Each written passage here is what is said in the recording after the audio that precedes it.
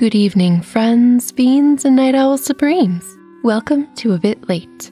I hope your evening is going wonderfully so far. I myself am cuddled up with a cup of cherry rose tea. It's really warm, it's really sweet, and it makes me think of all the spring blossoms that are outside right now that I can't see because it's late at night and I am in a dark room. But imagination is wonderful, and tea helps bring those images to mind.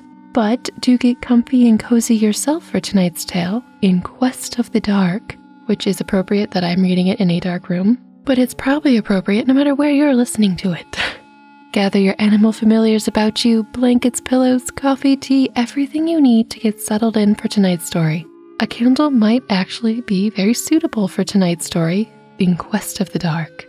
Although all we'd have to do is just snuff the candle out and then we would find the dark. I'm sure there's more to it than that, so let's read the story, shall we? In Quest of the Dark. Little Jean, up at the castle, was missing. Well, we start off grim right away. The night had come on, and the woods that enclosed the cliff on which the castle stood and that swept down the valley and up the opposite heights were hushed and still, or sighing dolefully in the summer wind. The servants were out with torches, calling and running in every direction. In some tangled vibes here. Someone suggested letting out the dogs, but that the lady would not allow. She would not have the child torn to pieces by the great wolfhounds, she said. It's a good point. She sat in her room and wrung her hands in despair.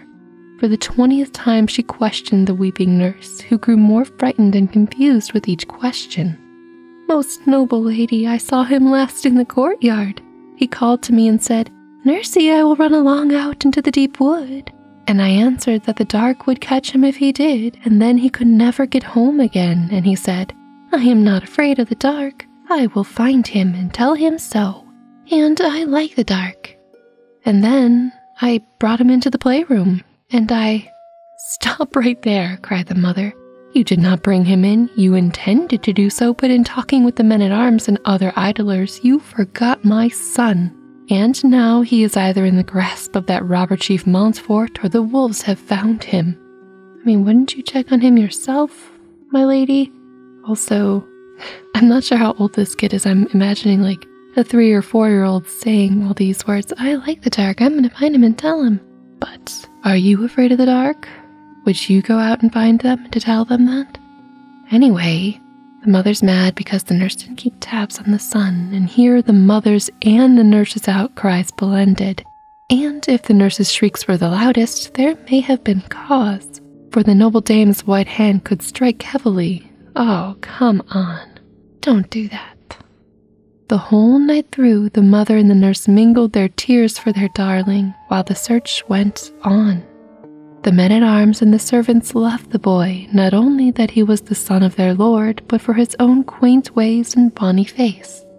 Early in the morning, the seekers came straggling in, tired and hungry. No trace had been found of the child. All feared to tell their lady of their fruitless quest.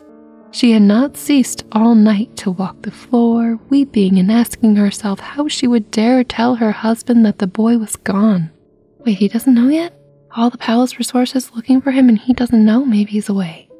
The nurse crouched by the door, trembling, oh, poor lady, and in sore distress, while the seekers asked of each other who was to tell their mistress. While they lingered, a shout from the valley caused all to hasten to the castle wall. A horse and rider came rapidly towards them from under the trees. Clasped in the rider's arms was little Jean. His yellow curls glistened against the man's black armor. Placing the child on the ground, the stranger bowed low to the lady, turned his horse, and disappeared into the forest. Ooh, is he the darkness? The mother scarcely saw him. Her eyes were on the boy. She reached out her arms to him. Jean, little Jean, my dearest, come. The little fellow kissed his hand and waved it to her. Soon he was in her arms, and she held him close while she questioned him. Where have you been, Jean, and who was yon dark man who brought you home? That was the dark, Mama. Nurse does always tell me that the dark will catch me. and when I say that I do not fear, she threatens to send me to him.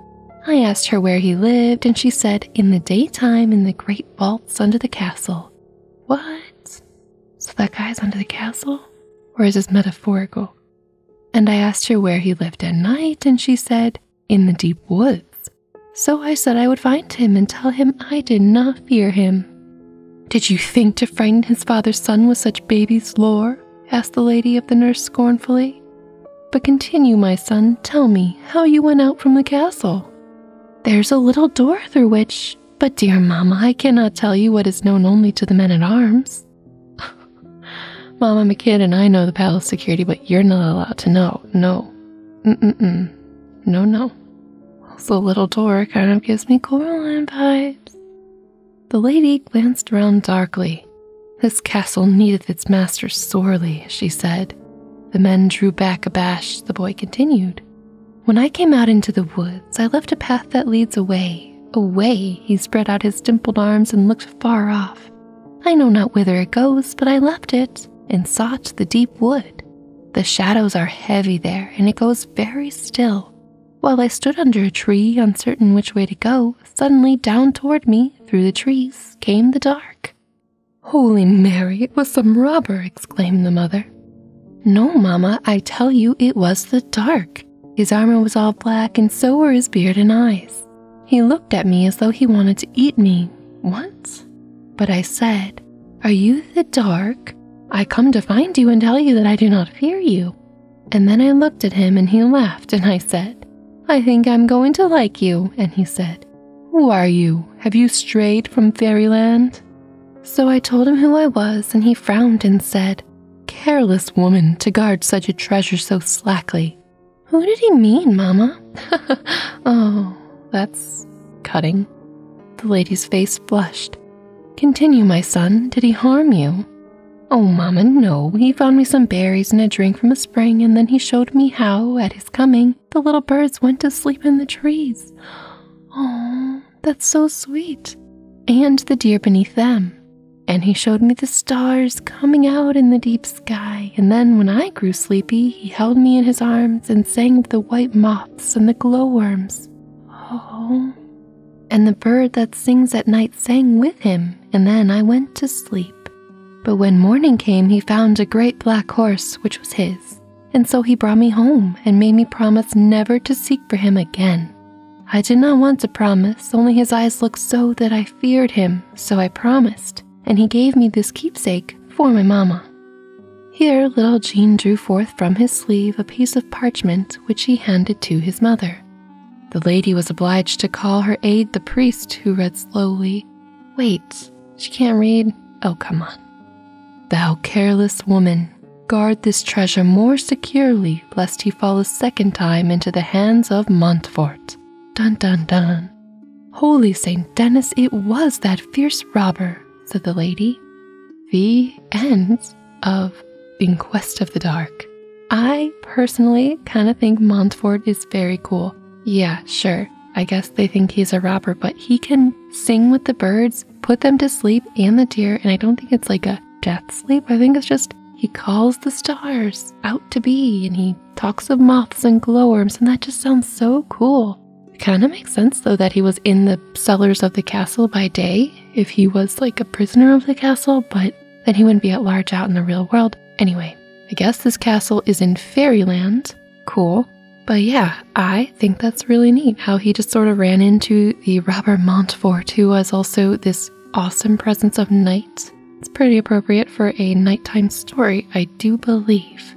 But yeah, let me know what you think of this short little story, and I hope it conjures up visions of glowworms and moths and everything you need in your dreams tonight.